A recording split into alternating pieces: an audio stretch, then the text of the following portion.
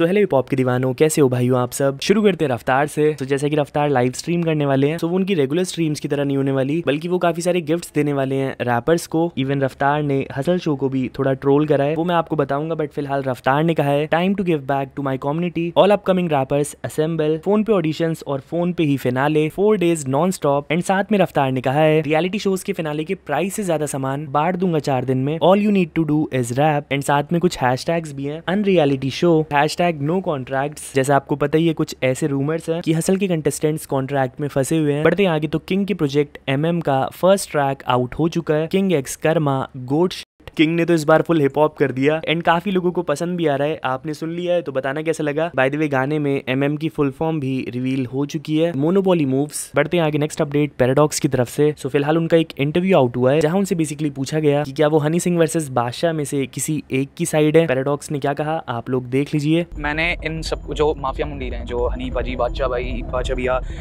रफ्तार भैया इक्का भैया गोलू भैया तो इन सबको मैं बचपन से सुनता हुआ आ रहा हूँ। मेरे लिए ये सब एक है। मेरे लिए ये नहीं है कि उनकी कुछ पर्सनल जो भी लड़ाई है वो उनकी पर्सनल है। हम्म। वो कुछ ऐसे ऐसी कोई लड़ाई नहीं है कि मेरा कुछ ओपिनियन बनाना बनता हो उस पर हम्म। मैं उनका फ़ैन हूँ मैं उनके आर्ट आर्ट फॉर्म का फ़ैन हूँ और ऐसी बात है कि मेरी पाँचों से बात होती है। ऐसा नहीं है कि मैं किसी एक की तरफ़ इंक्लाइंड हूँ मेरी पाँचों से बात होती है। अभी अभी रिसेंटली रफ्तार भैया और हनी पाजी दोनों की स्टोरी पे मैं एक साथ ही था सेम डे पे। तो ऐसा नहीं है कि कोई मेरे को लेके क्लब है हम्म। कि ये मतलब बादशाह क्लब का है या हनी बाजी के क्लब का है ऐसा कुछ नहीं है। मैं फ़ैन हूँ उन लोगों का और वही है कि इट्स ऑल अबाउट म्यूज़िक कि म्यूज़िक हमें बढ़ाना चाहिए हमें हम्म। ये जो भी उनकी पर्सनल लड़ाई है हाँ। अगर हम लोग ही उसको स्पार्क करना कम कर दें हम्म, हम्म। अगर हम लोग ही कमेंट्स करना बंद कर दें कि लड़ाई वगैरह के ऊपर तो अपने आप ही उनकी लड़ाइयाँ खत्म हो जाएँगी और हो सकता है कि कुछ कोलेबोरेशन देखने को मिल जाए बढ़ते आगे सो हनी सिंह ने अपनी फोर्थ एल्बम ग्लोरी का पोस्ट आउट कर दिया है एंड साथ में कहा है they loved me they hated me but I never answered now Glory will answer everybody बढ़ते आगे तो इक्का भाई की एल्बम से जग्गा जट जिसमें बादशाह एंड दिलजीत दोशांज की फीचरिंग है आउट हो चुका है बाय द वे उनकी पूरी एल्बम भी